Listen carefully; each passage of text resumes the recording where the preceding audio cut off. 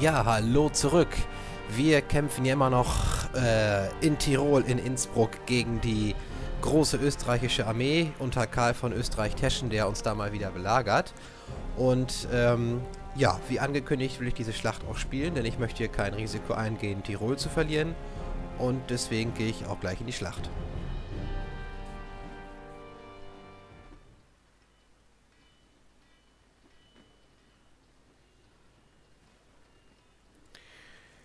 Ja.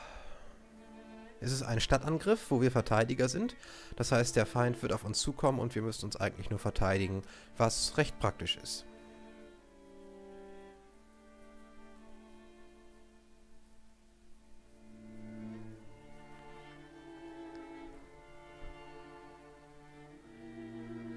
Währenddessen werden wir hier mit dem Anfängertipp versorgt, dass wir unsere Artillerie zunächst abprotzen müssten, bevor wir damit schießen können. Das ist äh, sicherlich gut zu wissen. Und damit geht es jetzt auch in die Schlacht. So. Ja, äh, das Verfahren kennt ihr ja inzwischen von mir. Ich bin da ja knallhart. Das soll heißen, bewaffnete Bürger und andere Ranzeinheiten, die keiner braucht, kommen in die erste Reihe. Das heißt, der Feind soll sich daran schon mal äh, abreiben, erschöpfen, Munition verbrauchen und erste Verluste kassieren während die eigentlichen schlagkräftigen Truppen sich schön gemütlich im Hintergrund tummeln und äh, bitteschön nicht zu hohe Verluste kassieren. So. Die äh, Infanterie... Äh, äh, ja, die Musik gleich noch manuell ein bisschen vorschicken. Der Rest... Äh, kriege ich schon anders irgendwie hin.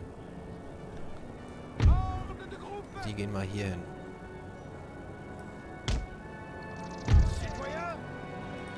So. Der Feind ist ganz nah dran, sehe ich gerade. Das ist ja interessant.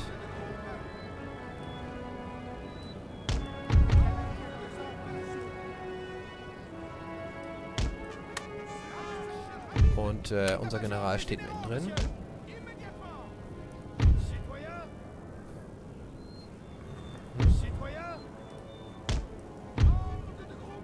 Ich mache gleich am Anfang mal so eine Ausweichbewegung mit unserer Kavallerie.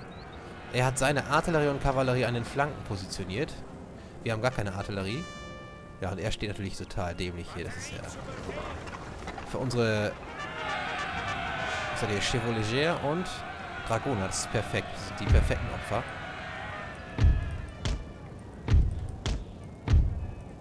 Ich fange mit einem Kavallerieangriff an. Wir haben ein Gebäude erobert, Sir.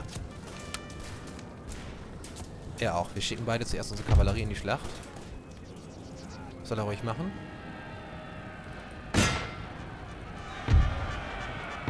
Ich gehe hier mit...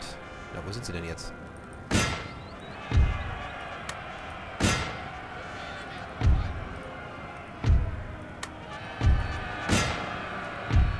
Die schießen jetzt erstmal ganz gemütlich. Die auch. Ja,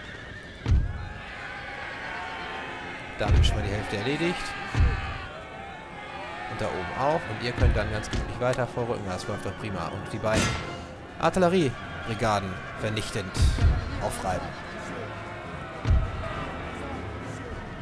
Die können auch wieder ganz normal sich hinstellen. Haben ihren Job gut gemacht. Ihr stellt euch mal schön in die Deckung. Hier ist mal wieder Deckung. Ein bisschen nur, aber immerhin. Ein kleiner Heuwagen. Während wir hier einmal gepennt haben. Aber zum Glück nicht so schlimm. Denn die Ulanen haben uns zum Glück nicht angegriffen. Was es uns nun ermöglicht, mit unserer Kavallerie die anzugreifen. Ulanen sind Lanzenreiter und die haben dementsprechend einen sehr hohen Angriffsbonus, aber schwache Nahkampfwerte, wenn es erstmal im Kampf dann ist. Und das Schöne ist, unsere Chevaux... Ach, Blödsinn, das sag ich. Unsere Chasseurs Cheval schießen auch teilweise noch, wenn sie schon im Nahkampf sind. Das ist echt toll. Also die sind richtig geil. Ich habe mich da doch wieder entschieden, die geil zu finden. ich ändere Unsere Männer fliehen, Sir. Währenddessen schießt seine Artillerie in den eigenen Hügel. Ja, das ist halt KI. Und wir greifen jetzt knallhart an, nutzen das sofort aus und vernichten seine gesamte Artillerie. Ja. Oh! 15 Tote mit einer Salve, da bleibt ja nichts übrig. So, weiter. Und auch hier hinten geht's weiter mit der nächsten Batterie. Wo ist sie denn? Hier, direkt vor euch. Wir haben auch schon eine Kavallerieeinheit verloren. Und er hat jetzt seine gesamte Adlerin verloren. Gut.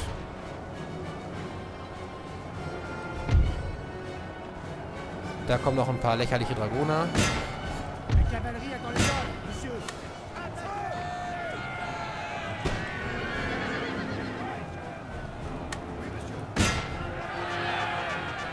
Wir greifen hier nochmal an, um auch die letzten auszuheben.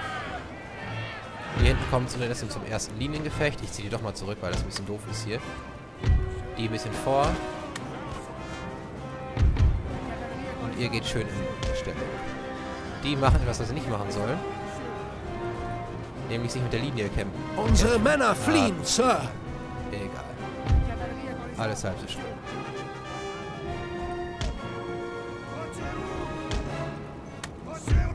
Also wir haben zwei Einheiten verloren, das macht aber nicht so viel. Und wir haben uns hier falsch aufgestellt, das muss ich gleich mal zugeben. Schande über mich. Äh,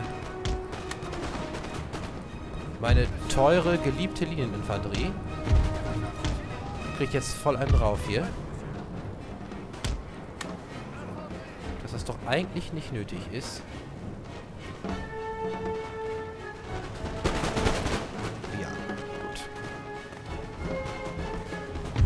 Hier werden dafür jetzt ordentlich durchgenudelt. Was ist das denn hier?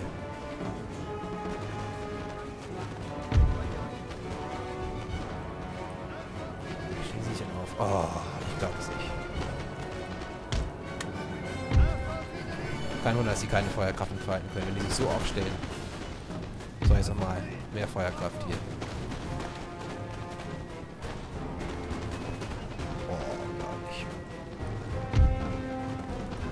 Browns da auch nochmal, aber wir haben noch ein volles Regiment. Normalerweise schickt, also im Multiplayer macht man das nicht.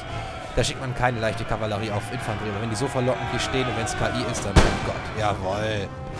20 Tote und dann mit dem äh, Hügelbonus fett rein, Angriffsbonus.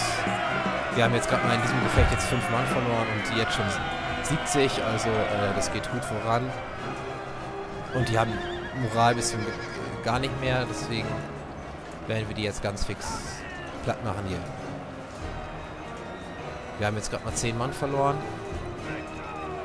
Und die haben 100 verloren. Also so schnell geht's nicht. So.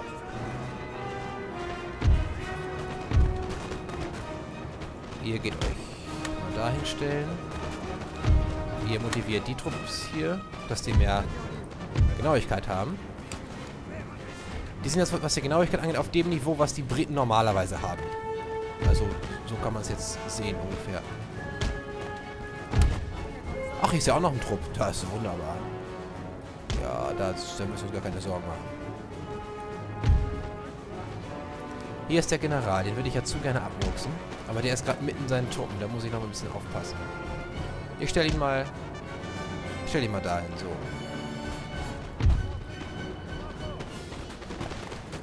Ja, wir haben trotzdem hier leichte Deckung. Das sieht man ja.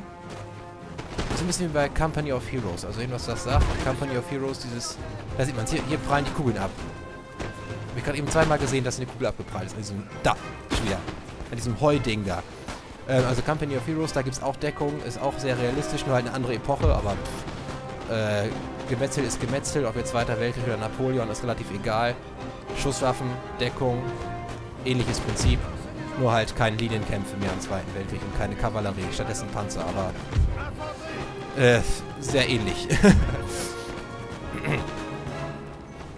In diesem Punkt zumindest. So, äh...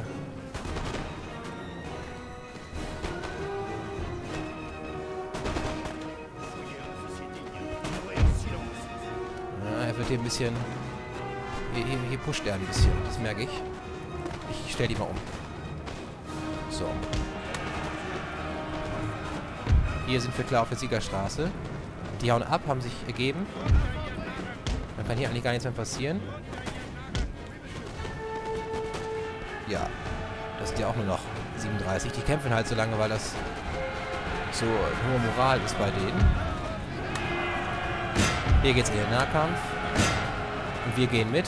Und der, der General steht völlig alleine. Das nutzen wir knallhart aus.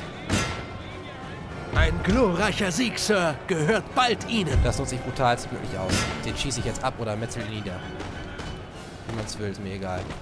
Hier gehen wir auch von hinten mit drauf. Und die Jungs gehen auch in den Nahkampf. So, jetzt. So, neun sind schon tot.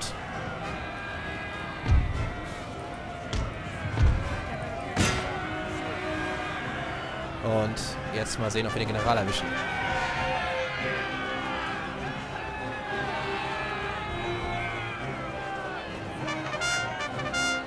Wir haben den Ja. General getötet, Sir. Karl von Jetzt Österreich werden Sie ist aufgeben. Verwundet. Es ist ja dieser österreichische unsterbliche General. Von daher.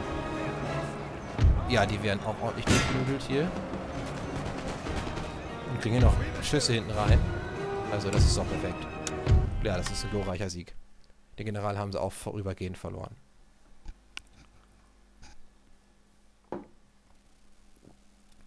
Wir haben 558 Mann verloren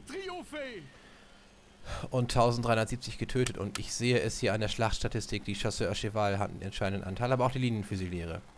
Die bewaffneten Bürger haben erwartungsgemäß nicht so viel abgemurkst. Ist auch klar, können die auch nicht. Ja, da ist nicht viel mehr über. Ah, das olle Geräusch. Müssen kurz durch. Das ist ein kleiner Bug bei Napoleon Total War. Einer der wenigen technischen Bugs. Das haben aber alle. Das ist nicht nur bei mir so, das weiß ich. Das ist, ähm... Genau, man hat an einer Stelle irgendwie, äh... So ein Geräusch, da muss man woanders hingehen und dann ist es weg. So. Okay. Jetzt versuchen wir mal irgendwie Wien zu beschädigen und wir... Nee, das ist mir alles zu... Was haben wir denn hier? Ein Handelshaus? 60%, das mache ich. Hat nicht geklappt. Oh, in England haben wir noch einen Spion. Du sollst nach Wien. Ähm...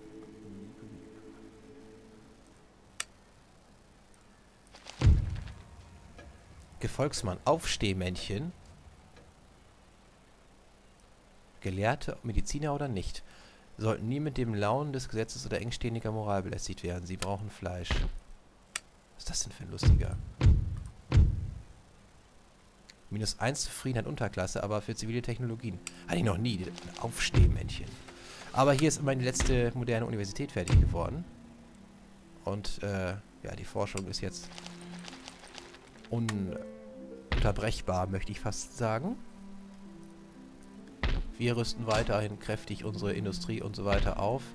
Ja, mit dem Spion hier drüben können wir jetzt nichts anfangen. Der kommt einfach... Pff, ja, mal sehen, irgendwo hin. Und, äh, ja.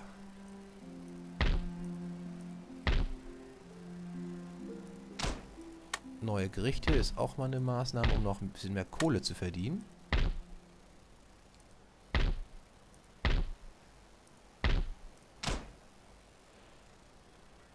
Und da, so. Wir gucken ja 22.000 pro Runde, das ist echt heftig. Ähm, ja, die Österreicher sind fertig, die haben kaum noch große Armeen. Napoleon steht vor Prag.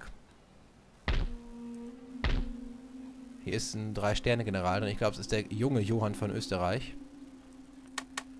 Ähm, hier steht immer noch unsere Armee vor sieben Bürgen.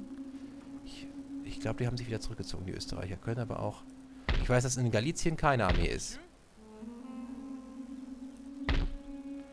Ah, ist natürlich verführerisch, jetzt Galizien einzunehmen, ne? Also in Siebenbürgen ist definitiv eine Armee.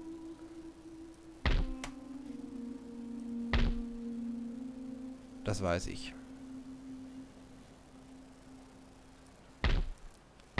Hier haben wir ein paar Honks. Danke. Ach, Leute.